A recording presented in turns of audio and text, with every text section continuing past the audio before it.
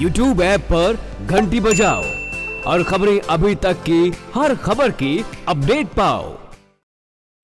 हरियाणा के करनाल में अब पानी की बचत और आलू की फ़सल की पैदावार को लेकर सॉइल लेस तकनीकी का प्रयोग किया जा रहा है। शामगढ़ स्थित आलू प्रौद्योगिकी केंद्र के वैज्ञानिक सॉइल लेस तरीके से बिना के मिट्टी के नारियल के बुरादे का इस्तेमाल कर अच्छी पैदावार और अच्छी गुणवत्ता वाले आलू के बीज तैयार करने में जुटे हुए हैं प्रदेश में। इस तरह की तकनीकी का पहली बार प्रयोग किया जा रहा है ताकि किसानों को अच्छी गुणवत्ता और अच्छी पैदावार वाला बीज उपलब्ध करवाया जा सके। इस तकनीकी को लेकर कृषि वैज्ञानिकों का कहना है कि इस तकनीक से पानी की तो बचत होती ही है और साथ में मिट्टी में विषाणु रोग जो होते हैं वो आलू के बीज में नहीं आते जिससे विषाणु रोग रहित अच्छी गुणवत्ता और अच्छी पैदावार वाला आलू का बीज मिल जाता है।